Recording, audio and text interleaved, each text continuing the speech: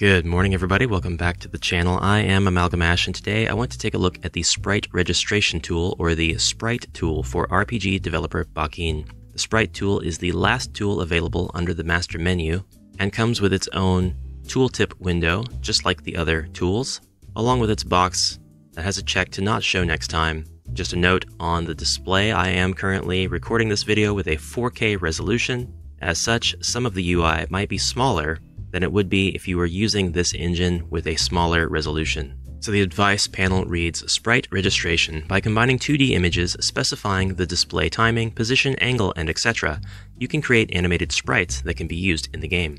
In addition to creating effects to be displayed in battles and events, and facial animation of casts for use in conversation scenes, screen effects such as fade outs and slide ins can be created and used in layout tools. It is a tool that can be utilized in a variety of ways depending on the creativity. If you are not sure what to do, please refer to the manual on the RPG Builder Bakin official site, as always. So we'll leave this box checked and we'll hit OK. First thing I want to show you is that the sprite list will be on the left and our displayed selections will be on the right and you can move the border between these two panels, effectively resizing them. For the sprite list, we have a search tool as well as an add button to add a sprite set, plus to add a motion to your selected sprite, a copy, a paste, and a delete.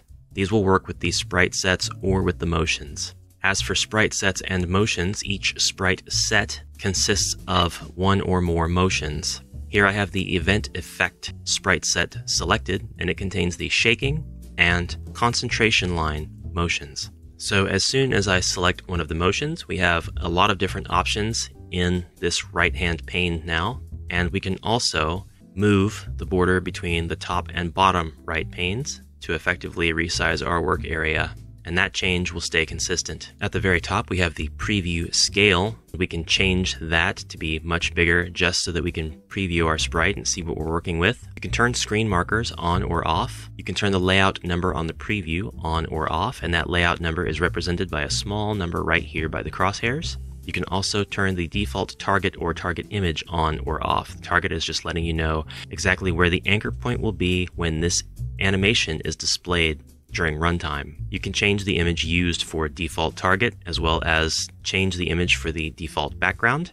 And you can target the center, target the feet, or target the entire screen. We'll be able to see the differences between these later. As for the bottom pane, this is the timeline this is where you will effectively be able to create your animations in Engine. You can add layers and frames, copy, paste, and delete sections or keyframes, play, pause, and loop animation playback. We have the ability to set the start timing, frame number, screen flash, target flash, sound effects, and layers, and we can name our layers. You can use left click to select the various elements of your animation, and you can use the scroll wheel by holding it down and moving your mouse to move the entire canvas, or scroll in and out to zoom in and out of your animation so you can see precisely what you're working with. The menu on the right will change depending on what you have selected in what is now the center pane. For example, if we select the layer 1 first frame, we can see that we can change the color, the position, the scale, the rotation, or even the image to be used. Shaking in this context is not an effect, but actually the name of this image. Now it seems this tool can be used to replace the Character Portraits section of the Characters tab in Resource Archive of Smile Game Builder. So just to tour some of the other animations that are included with this tool, we have Title, which includes the background display, background appearance, logo appearance, and display motions, Spirit Sword 2D, something called For Bemis Event, better to show you than try to explain it. It kind of looks like a slide in for an animation that's going to introduce something like the name of the, of the zone, something called Angry, in which what looks like a main character or player character slides onto the screen. And then you can see we have animations for character busts to be used in dialogue. So this tool is replacing the Character Portraits tab of the Characters menu in Smile Game Builder's Resource Archive. We've also got our map player icons and various windows as well as cursors text cursor, title cursor.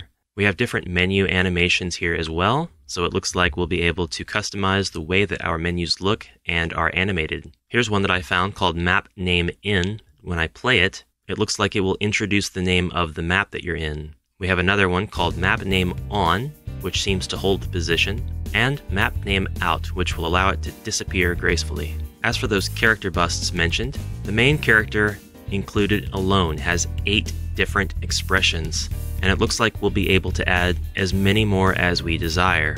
Not only are the expressions here static, but they also all have talking animations. We have another set devoted strictly to a version of the same character that is now wearing a weapon at his side.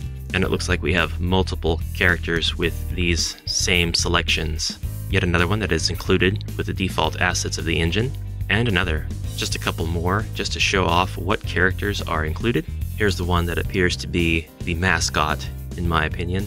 And you can take these animations and add to them using them as a base. You can use them as is, or you can use the framework the way that they are laid out for your use in completely original animations. Included NPCs with lots of expressions each. Plenty here for somebody to start making a game immediately with a lot of characters a barmaid, a king, a queen, prince and princess, knights, a maid, a butler, a cleric, a shaman, a pastor, a nun, a pirate, a brigand, a merchant. It looks like this is also where our game over graphics are, and finally, our emotes. That means effectively this tool also replaces the windows, images, icons, and maybe even the battle background sections of the Game Images tab in Smile Game Builder's Resource Archive. This is an all in one animation tool. That concludes the complete overview of the Sprite tool for RPG developer Bakin. Thank you very much for watching, and please stay tuned for more videos. Bye for now.